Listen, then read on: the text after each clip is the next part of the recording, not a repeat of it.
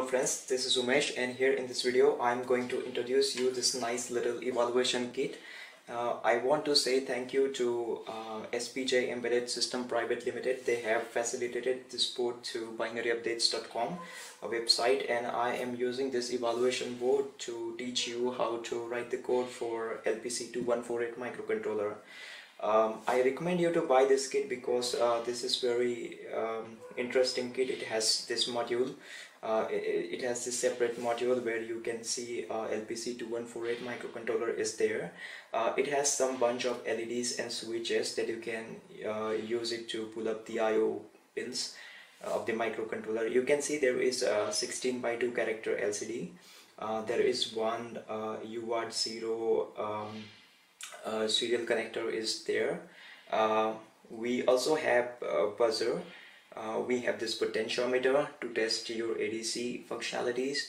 And there is a one uh, small little sensor which is LM35 that you can use it to you know read the temperature from the LM35 um, sensor.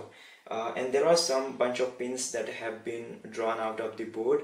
And uh, this uh, this pins has um, uh, represent I2C communication. So you can have the I squared C and um, uh, SPI communication. So I think um, they have made it a really interesting board they have uh, pulled it all the IO pins uh, outside uh, to this um, kit. So even if you want to develop something which is not there onto the board you can use the pins uh, IO headers and you can connect to your sensor or anything that you have and then you can use this board. I, I, I really love this board. I, I don't know how much does it cost but it seems to be very interesting if you're watching this video on YouTube, then you may find the link down below in the YouTube description box where you will be um, you will see the price and everything about this board. So the goal of this video is to uh, you know teach you how you can use this evaluation kit. And um, as a part of first video I think I will show you how to power up this board and how to connect the serial communication to um, I mean how to program this LPC2148 over uh, serial communication uh, using ISP mode. So very first uh, for any microcontroller kit we need to power up this board. So uh, we need um, one adapter here in this case we need a 6 volt and 500 milliampere so let me plug it in to the DC jack and uh, power on this board. So as you can see right now this board has been powered up. You can see there is uh, black boxes onto the LCD um, and uh, everything is good to go with.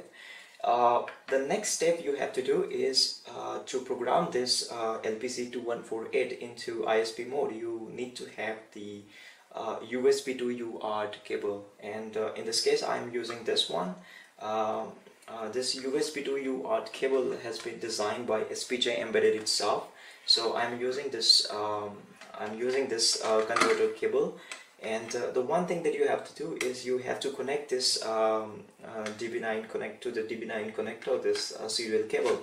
And here is you can see this um, connector. This is female header. And we have to connect this serial cable to this female header so we can have the access for UART 0 uh, make sure whenever we program this uh, LPC2148 um, over uh, ISP mode then we have to make sure that we will be using UART 0 not UART 1 so here is a UART 0 for this evaluation board. I'm not sure which board you will use but most of the evaluation kit has the UART uh, pin has been drawn out. So let me connect this so now I have connected this uh, um, USB to UART uh, cable. And uh, whenever we connect this uh, cable first time uh, we see this LED blinks two times uh, that means we have um, I mean actually this um, uh, this LPC2148 is in the auto mode, auto ISP mode. So we don't have to, you know, press the button sequence, I mean uh, ISP and then reset and then release reset and then ISP pin. So that we don't need to have. If we do it in manual mode, then we may need to do. So there are different variety of boards in the market and uh, you must have to make sure before you use uh, any board so but for this board you just need to connect this uh, uh, USB to UART uh, cable and uh, you just have to check the LED blinks two time. And if that blinks two time that means everything is fine. And you just have to connect this uh, the other end of this USB to UART to goes to the computer and once you are done with this you have to do a little bit of a configuration install the driver for um, this uh, USB to UART and then we gonna um, load the hex file into the LPC2148 microcontroller. So let's see how it's been done. So when we connect serial to USB converter first time to the computer we see something like this.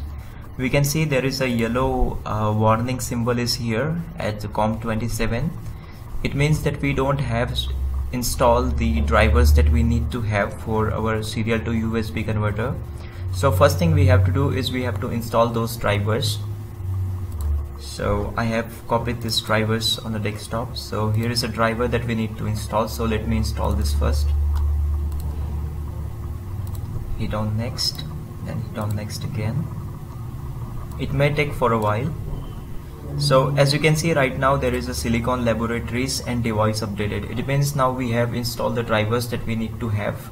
So hit on finish.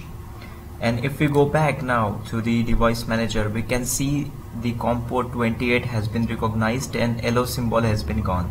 So now we have successfully installed all those drivers that we need to have for our cable. So close this. So let's have a look at flash magic tool